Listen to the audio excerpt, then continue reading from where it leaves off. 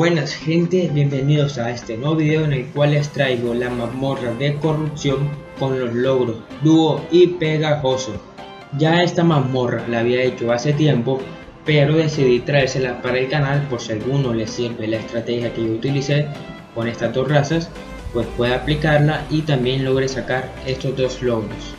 Aclaro que esta no es una guía de cómo pasar la mazmorra, solamente daré unos tips de cómo pasarla con estas dos razas. Los sets que llevan estas dos razas es el Okra, un set multicríticos, y el Panda lleva un set Panda Tanque 50 resistencia a todos y full vitalidad.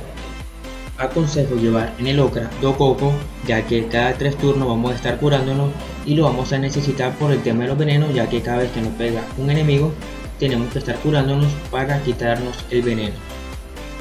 Y con el panda aconsejo llevar hechizos como propulsión y consuelo ya que en el primer turno tenemos que quitarle el primer veneno al Okra sí o sí para que pueda empezar pegando lo máximo posible. También llevar avisar con el panda ya que cada vez que empiece nuestro turno vamos a ganar un punto de movimiento y eso nos va a ayudar muchísimo al momento de alejarnos del enemigo.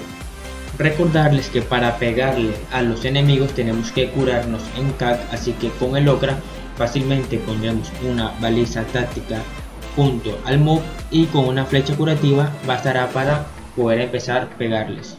Por último y muy importante aconsejo en ningún momento del combate curar al panda, así evitaremos que cada vez que lo golpeen los enemigos no vaya sumando los venenos. Y bueno, estos son algunos de los consejos que les puedo dar para esta mazmorra. Espero que les sirva muchísimo. Los dejo con el video con un poquito de música y hasta la próxima.